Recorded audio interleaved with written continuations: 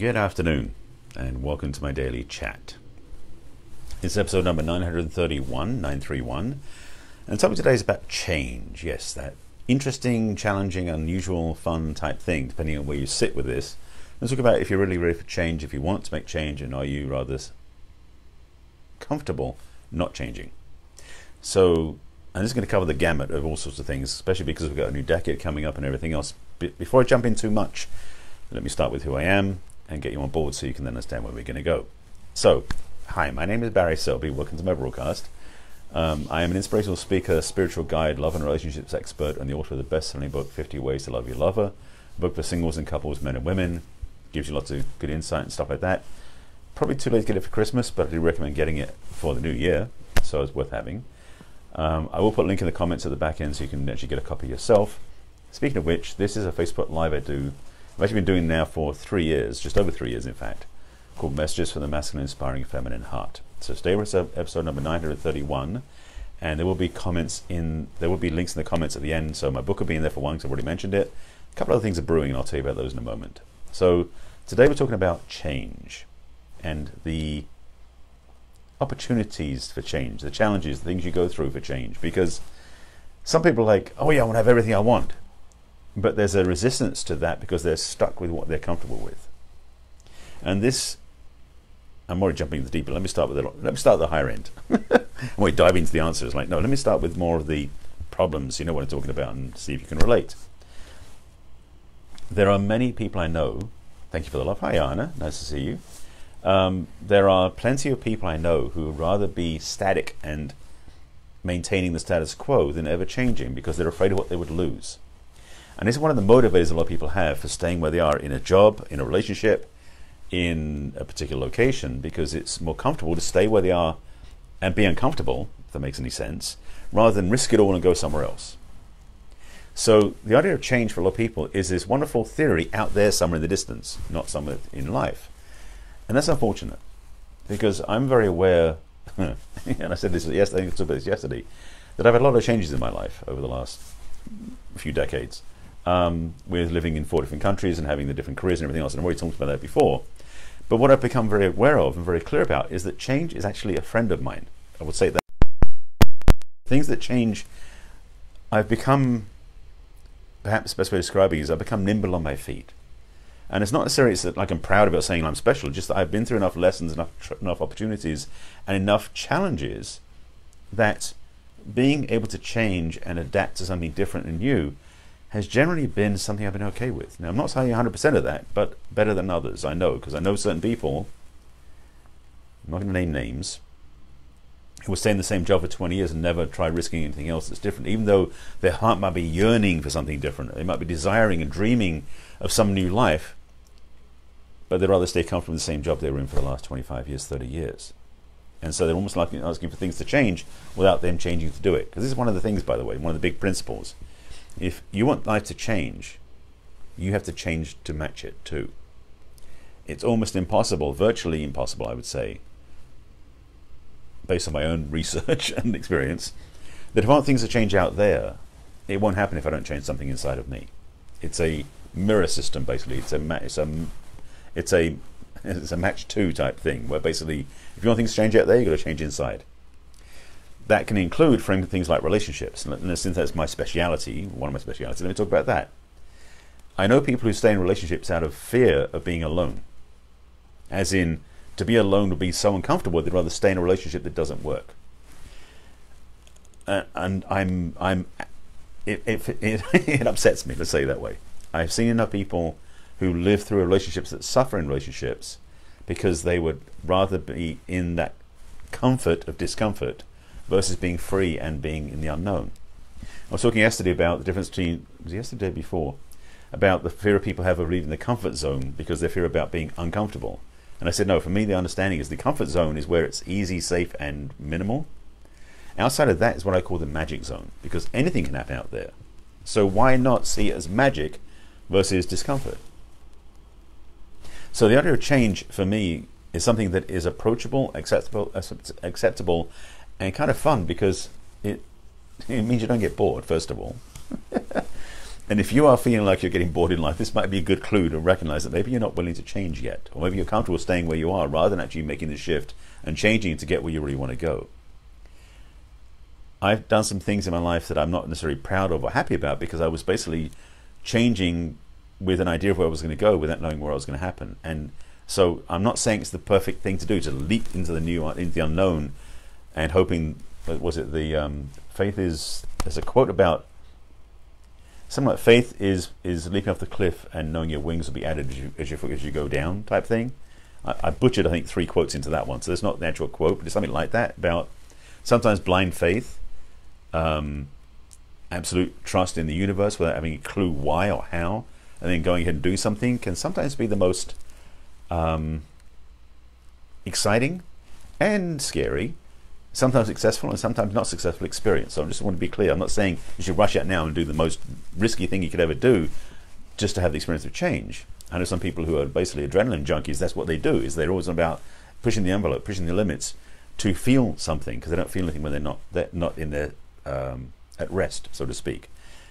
That's a whole other conversation. I could, t- I do not, I do not talk about that one, about not being able to find home where you are, because part of this thing about changing and shifting is to recognize that wherever you go, to quote Buckaroo Banzai, uh, you have to remember wherever you go, there you are. That's a, there's a quote from the movie Buckaroo Banzai. I remember from many many years ago. But the, the idea being is that wherever you go, you take yourself with you. So wherever you go, you may be in a change externally, but in turn, it's still you going with you. So you actually have some, I would say, comfort and peace in knowing that you're with yourself along the way, so to speak. And that's the thing is that people look at change as being something so alien, so foreign, so different that they don't know how to get there. They're in such a place of dis, um, discomfort, probably the way to put it. The idea of change is is just too high a bar to reach, and they'd rather stay safe again rather stay uncomfortable where it's familiar. That's that's the word. Actually, better yet say that way. Let me rewind it for a second. It's better to be in a place that's familiar yet uncomfortable than go somewhere else where you might have a different experience that's not so familiar, but you might end up being more comfortable. And you get how backwards that is? I see people doing that in relationships, as I mentioned earlier. I see people. Uh, did I finish that? Well, I'll go back to that one. But also know that people do that in their in their jobs and careers, working a job because they're afraid of being unemployed, and as a friend of mine said, one of her skill sets is she's unemployable. I'm getting close to that myself. I'm so clear that my work has to be leadership and being able to help other people. That to work for somebody else to do that doesn't work for me. And that's something I've learned. Now, going back to my earliest careers, I had no clue I could even risk doing that. Yes, even though I did, living in four countries inside, well, from um, just thinking from age 20, uh, 19, so five years just what is a five year span from 1924. We lived in four different countries, but I still had jobs, so I wasn't feeling that scared, even though I was in in different languages. So maybe I could say I'm the poster child that changes okay. I'm kind of going to say that, but reality is that relationships are not serving you if they're familiar but they're not comfortable. If you're not enjoying it, you're not growing, you're not living in a place that is is changing you for the better. I'm not a big fan of relationships that don't do that. I'm, in fact, I'm not a big fan of. I'm, I'm not a supporter of people choosing safety, settling, comfortable relationships that don't have fun, joy, expansion, growth, and evolution in them.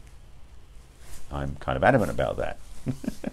so in my work with my clients, a lot of times what I'm helping them do is see clearly what it is they want, who they really are. So when they're looking for where they want to go, it takes them to another level, another another um, expansion to a place where they want to thrive. And that's one of my strengths and my skills with my clients is to, is to basically hold their hands with their journey because that journey into that unknown can feel a bit scary. Unless you have somebody with you who can support you. That's why it's good to be in relationships with people, either familiar, either either romantic or business or any other relationship, where you feel you can trust the partner. So when you go into the unknown, you've got something safe to be with because the unknown can be amazingly good and amazingly wonderful. At the same time, it's nice to have something you can trust next to you a partner, a coach, a business partner, whatever that is. So I didn't necessarily do it that way. I did a lot of stuff solo because that's just the way I'm wired. But definitely with somebody you can trust with you can make it even better. And I do know that from experience. So um, there was something else I wanted to say on that. So, ch- oh yeah, changing relationship. The thing about relationships, and I've talked about this one before because in my book. Again, the link will be in the comments for my book at the end. talks about how the relationships that are are healthy. Let's put it, I'm putting that framing. So healthy romantic relationships are predicated on the idea of having a sense of tension in the relationship, meaning that it's not a relationship where everything just lets go and it's all done. A healthy relationship is not one where you settle down. Much of people say you should get married and settle down. No, you should lift up, not settle down. So that's a that's a wording thing I know. But here's the thing: people choose relationships oftentimes where they can be comfortable and have a piece when it's like when they enter the relationship, they enter that level, and it never goes anywhere up from there. It just stays where it is or goes down from there. I've done it myself, so I know what it feels like. And I'm sure if you're watching this, you may have had the same experience because, frankly, it is something that um, is commonplace. It's part of the codependent racket I've talked about many times before. So I'm not going to get into that one now. But codependency is something that really does get in the way of relationships. And part of that part of that thing that makes relationships work is growing. And if you're in a growing relationship, codependency doesn't really happen as easily. So one way to remove codependency from a relationship is to be in one where you, where you and your partner are continually growing and up leveling and becoming better people. That's again, once that, I talk about that. I talk about that in my book as rubber band relationships. And if I did, I talk about that about a month ago, three, four weeks ago, about the rubber band experience in relationships. And the idea being is that if you don't have growth happening, it's like as some teachers talk about, if you're not growing, you're dying. I think basically what I'd say is if you're not growing, you're stagnating. And if you're in a relationship that isn't going anywhere, it's kind of stagnating. So being in a relationship that is healthy, be in a relationship that is growing, or be willing to walk away from it. Now, I'm not saying walk away from a 20 year marriage with three kids unless you really know what you're doing, because I'm not here to say you should walk away no matter what. What I'm saying is that if you can change the paradigm of your relationship to you're being supported and you can thrive and you can grow, then great. But if your relationship is dragging you down, you've got to reconsider your options. So really get clear about what it is you really want, how you want to take care of yourself, and then how you take care of others in those those relationships with other people involved. Just to be clear about that one. But the same thing's true also about career and vocation. I've had some really, I said, several careers. I mean, I think last count was eight different careers over the last so many years. I'm not going to give you exact numbers. But the thing is that I've experienced that in those careers, everything was always about the next level, the next growth, the next step and I've always found myself in a much better place. So I'm very grateful about that. Now, you may be in a place where you've been in a job for six months and you're ready to change. Depends on if it's a good idea or not. If you've been a, if you've been a career for 30, 40 years and you're feeling that is sucking your soul dry, you're not getting anything juice out of it, you may want to consider other options to introduce or practice some other skills to see what else you maybe want to branch into later on. Finding what works for you is important in every area relationship, career, health, vocation, everything. So it's important that you know what that is for you. And that's part of why one reason why I'm sort of talking about these things all the time in my talks. It's also why I've been talking for the last four or five days, and I'm def- and I finally put the web page up today, so you can go check it out. I'll put the link in the comments. Um, a new course I'm offering in January called called Balance. It's called BFF, Balance, Freedom, and Flow. And it's a it's a passion project of mine because I wanted to help people really understand how embracing change in a good way embracing themselves so they really know who they are and they find their resource inside by being in balance with themselves, by having freedom to do whatever they want and then being flow in life. I'm thinking my hand signal is kind of funny. Is is a really powerful place to be. So I'll put a link in the comments for my for the new course because basically it's a I've got a video on there and some other stuff in there as well, and I also basically put um, three different levels of how you can register earlier the better so you can get into their course. So anyway, read about that on the on the web page. The link will be in the comments. But I am here to really make clear to you that this is a good time to think about what change you want to make. We are getting closer to the end of the year, which means the new decade is starting in January. I know using, everyone's using the term because basically we're 2019, 2020. Actually, technically, technically 2020 is the end of the decade. 2021 is the beginning of the next decade. However, everyone's talking about 2020 being the new decade because it's a new digit. In math, it works out the other way, just to be clear. Not going to make it mess up. But here's the thing we're starting a new paradigm. And if it is a new year you want to start with, a new year or a new decade, why not start it the right way with support, with guidance, with understanding where you want to go, with absolute, absolute um, clarity of what your vision direction is for the next year? You can do, do New Year's resolutions on January 1st, or you can go deeper and have some real, but real effective, real tangible, and real successful results. That's why I've launched the BFF program. And again, link will be in the comments, you can check it out. Um, this time of year is always an interesting time because we are getting close to Christmas. That's only, what, four or five days away. Um, actually, six days away, just to get my math right. Yes, right.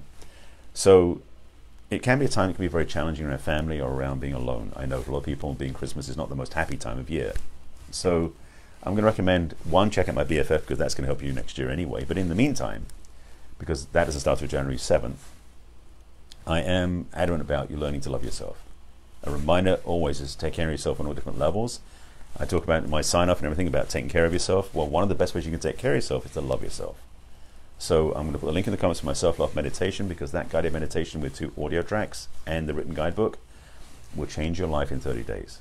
It will transform your relationship with yourself, which in in um, in effect, that's the right word. In turn, that's a better thing. In turn, will change every relationship around you. When you love yourself fully, I mentioned earlier about codependency. When you love yourself fully, the need for codependency evaporates. When you love yourself fully, you don't feel like other people you need from other people to get something from them, but you feel okay. You feel okay in yourself. Self love is a powerful tool, as is my my my uh, balance, freedom, and flow program next year. It all fits together. There's also going to be some surprises and gifts in that course. That if you sign up now, you'll get access to those. So um, again, link them in the comments. There'll be three links on my book, the BFF course, and my self love meditation will be in the comments. Um, what else? What else? If you need help, if you have comments about this, if this has been brought up anything for you, please let me know in the comments as well. I'd love to hear from you. If you want to find out where you can find my other broadcasts, here's where you find the replays. This, in case you hadn't seen me before, is my daily Facebook Live I do every day at 5 p.m. Pacific time right here on my personal page, usually around 5 o'clock, usually around 15, 20 minutes. Um, you can join me live at facebook.com slash Barry Selby. If you want to watch the replays, you can go to my business page on, on Facebook, which is barryselby.author, where you find most of the replays, actually some of them, they're all there. Facebook doesn't save everything; it seems to hide a bunch. So that being the case, you can you can like my page, please, Barry author. But also you can go to my YouTube channel and watch all of them there because I made sure I got backups. So my YouTube channel is youtube.com youtube.com slash user slash Barry Selby. Subscribe to my channel. There's a playlist on there called Messages from the Masculine where every single one of my broadcasts, including this one shortly, are listed from newest to oldest. You can scan through the titles, finding keywords, titles that speak to you, and watch whichever one you want. Um, I think that's about it. I've given you some food for thought, give you some next steps, and some place to go for resource. And uh, as I said earlier, I'm always about telling you this. So once again, and thanks for watching. Thanks for being with me. Um, take care of yourself. That's the bottom line for all my work. So I'm reminding to do that now, and I'll see you again tomorrow. And uh, take what I said to heart. I'll see you again soon. Bye.